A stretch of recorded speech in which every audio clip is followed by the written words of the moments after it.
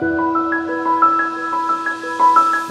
Australian Reptile Park has broken ground on a new venom milking facility. That's a one of a kind because we supply raw venom for the production of antivenom for all terrestrial snakes in Australia.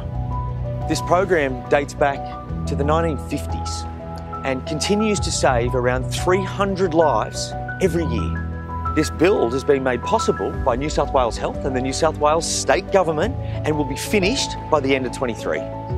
We sincerely thank Adam Crouch, our local Member for Parliament, for his help and assistance and for breaking ground here today. Australia is the land of venomous snakes.